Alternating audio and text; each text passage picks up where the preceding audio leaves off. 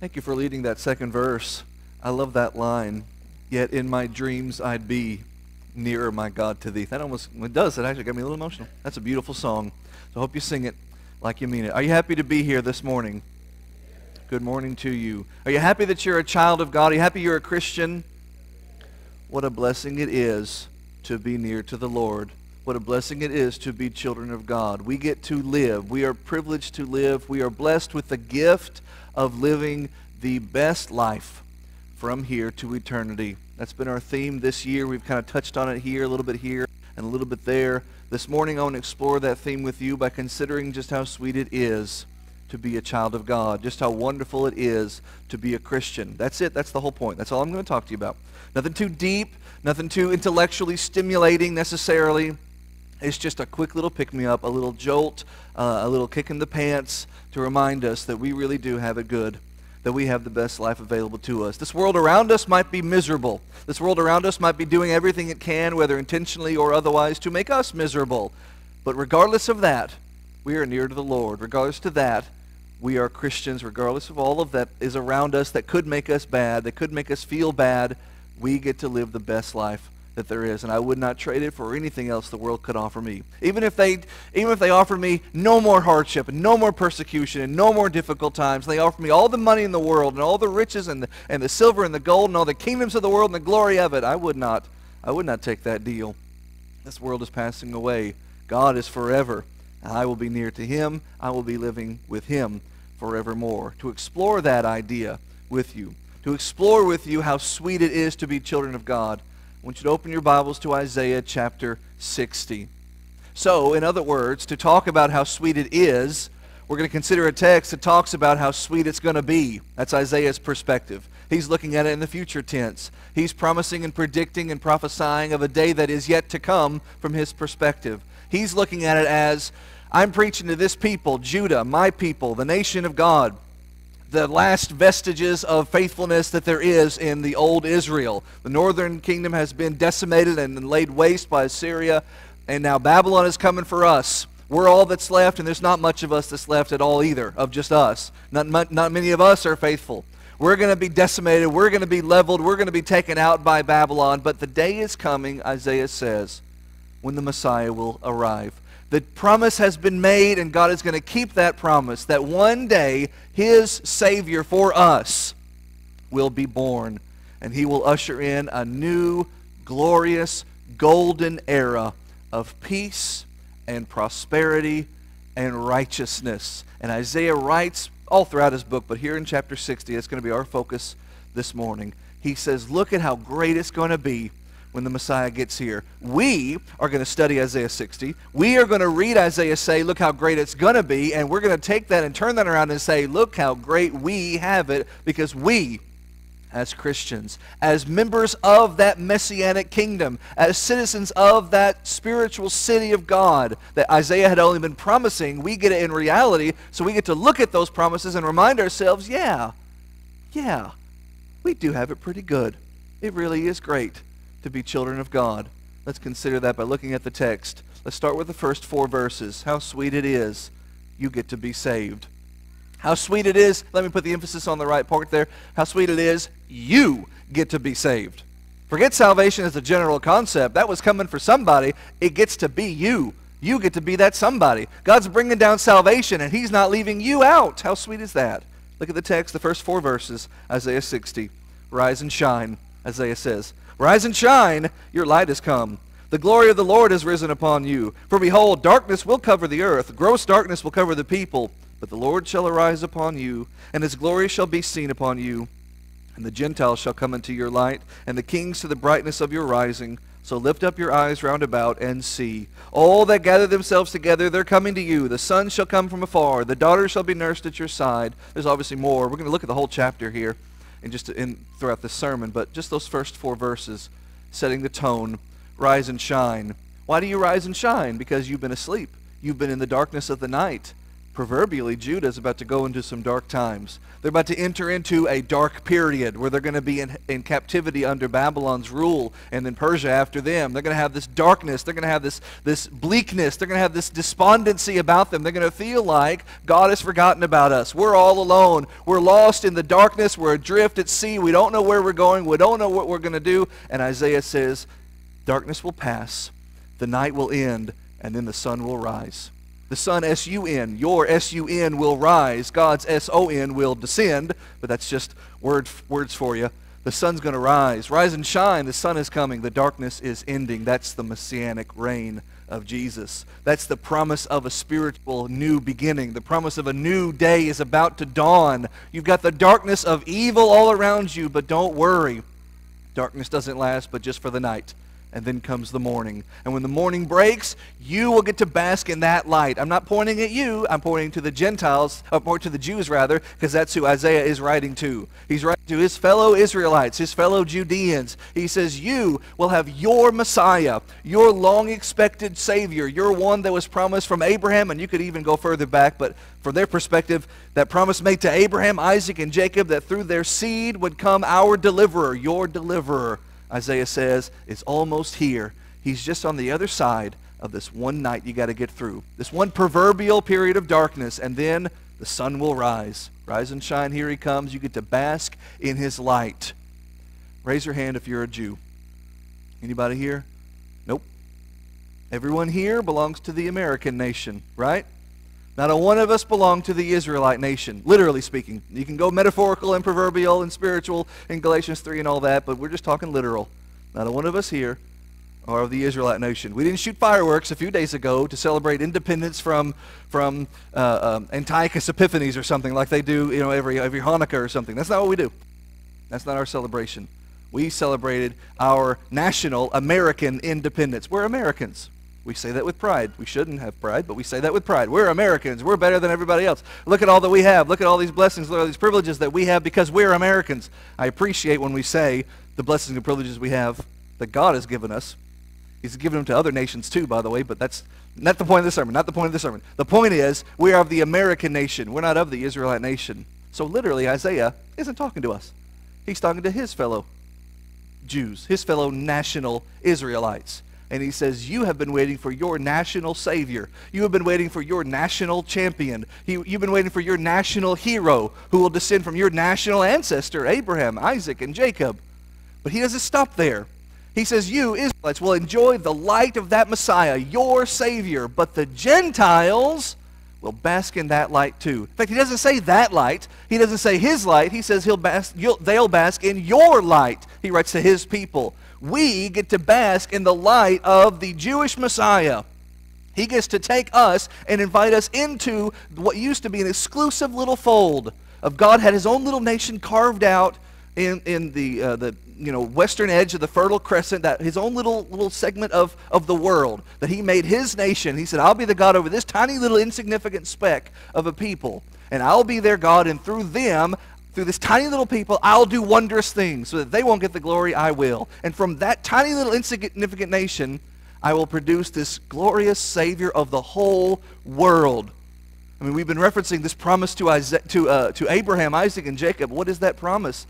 Abraham, I'm going to bless whoever blesses you, and I'm going to curse whoever curses you. And in you, through your seed that is to come, Jesus the Messiah, all the families of the earth will be blessed all the nations of the earth will be blessed. That's us.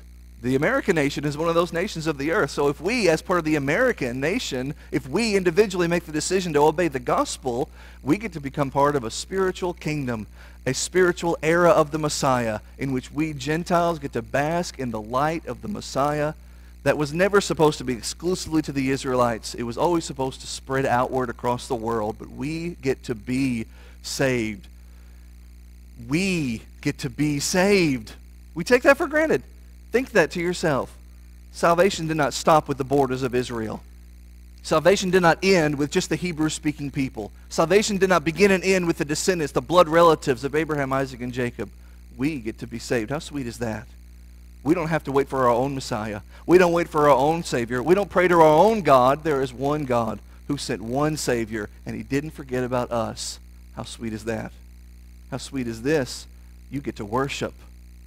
Being saved, you get to worship. Let me put the emphasis on the right word there.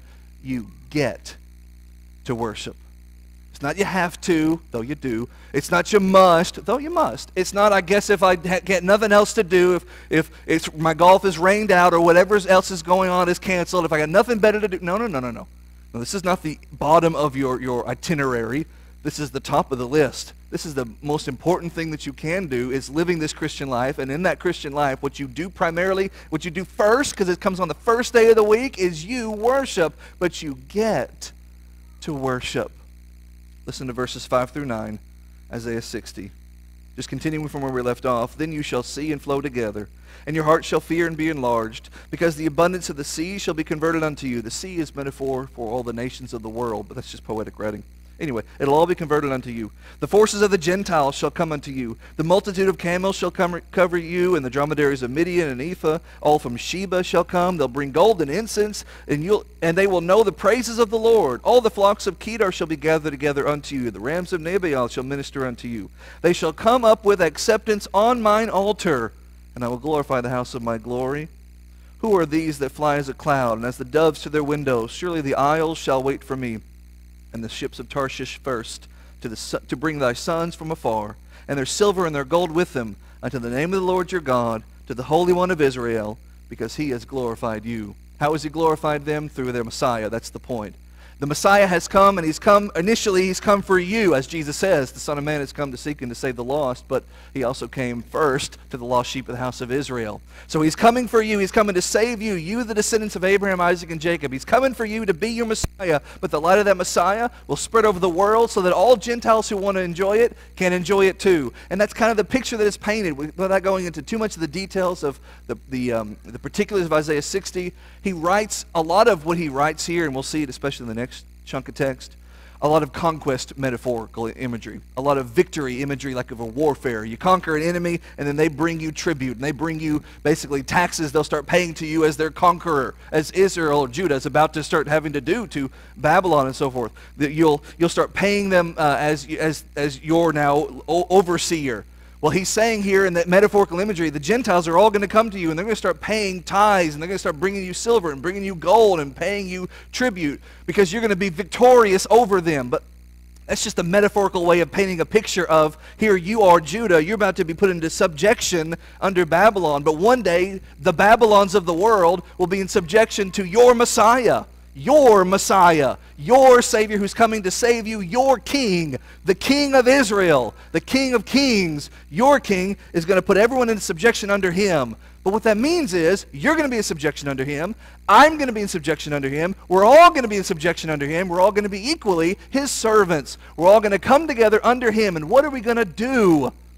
What are we actually going to do? They're bringing silver, they're bringing gold, they're bringing tributes, but what are they doing? Where are they bringing it? To his altar we are bringing worship to him. He is coming to conquer us so that we might worship him. God doesn't want your actual silver. God doesn't need your actual gold. What God wants is a heart that is willing to give itself to him. What God wants is all of you. He doesn't want your fat stacks because he's got a bigger bank account than you do. What God wants is the you that has all of that money. What God wants is the you that has all the stuff in the world. God wants you. Everything else is just gravy. What God wants is a person willing to bow down, fall prostrate before him, and worship him. You get to do that. It is so important to God that you worship him. It is so relevant and, and necessary and critical to the relationship that you are going to have with him in Christ that you worship him, that Jesus died and shed his blood so that you could worship him. Oh, no, no. Jesus died so that I could be saved. Yeah, what do you think he saved you for?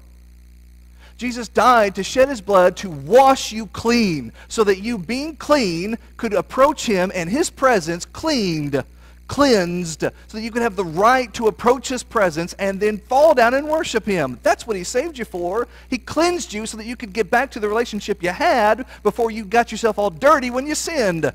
And you couldn't clean yourself. And the only way you could be clean is by his blood. And he says, since you can't clean yourself, and so it, since it is so important that you be clean, so that you can come to me and worship me, I'm going to send my son to die for you, to shed his blood to cleanse you, so that you can come worship me. It has always been God's prerogative to have his people come worship him. God sent Moses to Pharaoh. Let my people go. That's the quote. We know that part very well. But why let them go? It's not just for nothing. Let my people go so they can come to the mountain and worship me. God has always been all about you coming up to the mountaintop to worship him. You get to do that. It's not a have to thing. It's not a if you must. It's not if I got nothing better to do. You get the privilege of worshiping God. Now, listen, here's where we go too far in the other direction. So much today is made about what you're getting out of worship in, in so many places, so many so-called church houses and places, the emphasis is on what am I getting out of worship? If I'm not feeling something, if I'm not having a good reason to s- close my eyes and sway like I'm at a K-pop concert, then I'm not getting something out of worship, then the worship must have been bad. No, you were bad. You had a wrong heart. You had a wrong attitude. You thought we were worshiping you. What were you getting out of it? That's not the approach. That's not worship. And I think, based on this audience that I know you, you get that that you're not coming here expecting to get something out of it. But let's not swing that pendulum so far the other way that we run right past Jerusalem and we start teaching the opposite wrong. And we start saying, you should feel bad if you ever feel good in worship. Because I get a lot of that too. I listen to my brethren preach the opposite of that. And they say, it's not about how you feel. It's not about what you get out of it. You have nothing to do with it. It's not about you at all. You should feel bad if you feel good at worship. No, no. Right in the middle is where it should be. You should feel great when you worship because you have brought a gift to the Lord. You should feel great because you've been given that privilege and that honor to do so. You should feel good. It's not about you feeling good. That's just a wonderful byproduct of a heart that is desiring to serve the Lord. You should feel great that you have the honor and the privilege of approaching him, that he cleansed your hands and he cleansed your feet, that you could stand on holy ground and fall prostrate before him, that he cleansed your voice so that you could sing praises to him that he cleansed your heart so that you could bring your petitions before him, that he cleansed your mind so that you could study his word and learn more about him and draw closer to him. He made that possible for you. Worship is a gift. Worship is a gift you give to God. Salvation is the gift he gave to you. The gift you give to God is your worship back to him. This is a privilege and an honor. How sweet is that? We get to worship the Lord. How sweet is it? You get to live with him. You get to live with God. God is not over there and you're over here anymore. Sinai, Israelites went to where God was on the mountain. God just put himself on that mountain for that purpose, but that's the idea. They go to the mountain where God is.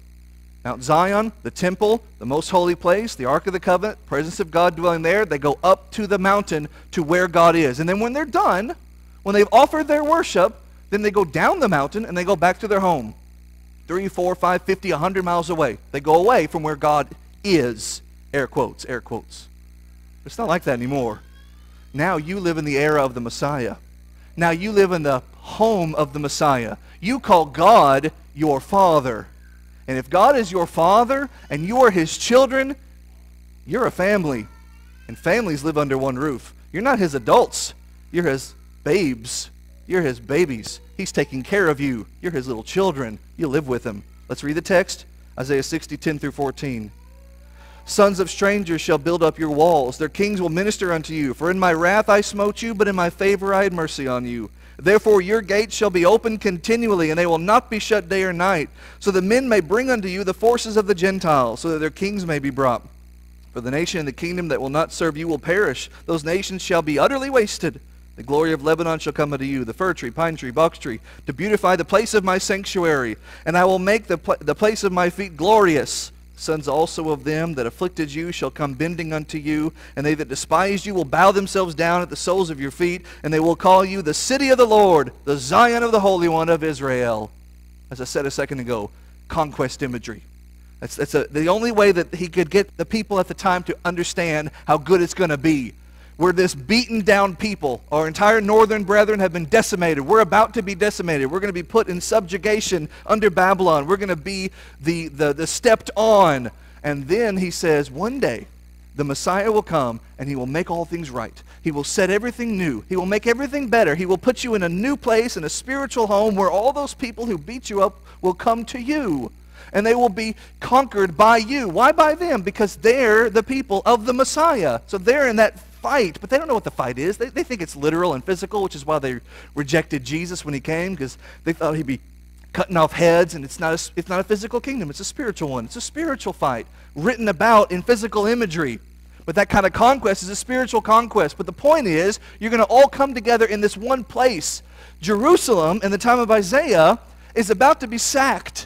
It's about to be uh, ramrodded. The walls are about to be knocked down. The temple's about to burn. Their gates are going to be destroyed. They're going to look at their walls, and they're going to see their walls breached. And they're going to say, Our walls have failed us. We're going to lose, conquered because our walls couldn't hold up. They're going to look at their gates in which people come and go. They're, they're going to bar to prevent the Babylonians from getting in. And they're going to watch those gates crumble and break under the pressure of the Babylonian army. And they're going to see their broken gates, and they're going to weep because they know all is lost. And Isaiah says, That's going to happen. I'm going to spank you because you were bad, and then I'm going to have mercy on you. And I'm going to put you in a new city, a messianic city, a holy city, and you're going to look at your walls and you're going to say salvation because they cannot be breached by the devil. You're going to look at your gates and you're going to think, we really should lock those so the enemy doesn't get in. Oh, no, no, those gates open. We're going to keep those gates open and we're going to call those gates praise. And we're going to sing out our praise from inside the city out so that everyone who was out there in the darkness, we'll get to the light in just a second, who was out there in the darkness, our enemies outside the city will hear our praise and will be drawn to it and will come into that city and will dwell with us and will have fellowship with us and will bask in the light of the Savior with us. We're going to open those gates. We're going to call them praise. We're going to look at our walls that protect us. We're going to call that salvation. How sweet is that? We're living in the city of God. How sweet is this? We're living in the city with God. God is there with us. God is the reason those gates are praise. God is the reason those walls are salvation. He has provided this for us. He's right there in the midst of us. How sweet is this? You get to be better than ever. By virtue of your coming into this city to live and to dwell with God, He's making you better than ever. Let's read 15 through 18. Whereas you have been forsaken and hated, so that no one went through you, no one wanted to pass through your land. That's a destroyed, wrecked, ruined, haunted place but I will make you an eternal excellency, a joy of many generations. How many generations? It's a metaphor. He just told you an eternal excellency. You shall also drink the milk of the Gentiles and the breasts of kings. You will know that I am the Lord your Savior and your Redeemer, the mighty one of Jacob. You'll bring me brass and I'll turn it into gold. You'll bring me iron, I'll turn it into silver. You'll bring me wood, I'll turn it into brass. You'll bring me stones, I'll turn it into iron. Whatever you give me, I'll improve. Whatever you offer me, I'll make better. You bring me your broken down, beaten up, sin stricken life. I'll wash it clean, I'll make it new, and I'll make it a servant of my own. I will make your officers peace people, peace bringers, not warriors. I'll make your, my Bible says, exactors, literally your taskmasters. Righteousness. What's a taskmaster? In our mind, we're thinking of that's the guy with the whip, like the, like the Egyptians to, to the Israelites. That's the guy who, who whips them. But why are they whipping them? It's not just for punishment. You whip them to get them to do what you want them to do. Okay, I'm going to make such a better life for you that your taskmaster, the guy who is there to make you do what you're supposed to do, what's he going to be compelling me to do? Not with a whip, but with kindness and words. He's going to make you do righteousness. He's going to be compelled by righteousness to compel others to do righteousness. That's Christian fellowship. That's the positive peer pressure that the Prince of Peace proposes. Violence shall be no more heard in your land, neither wasting nor destruction within your borders. Think about how relevant that is to a people about to be under siege. A couple hundred years away, 100 years away from being under siege. No more wasting. No, your city will not be laid waste. No more destruction. Your, this temple is not going to be burned down. None of that will happen within the borders of this spiritual kingdom.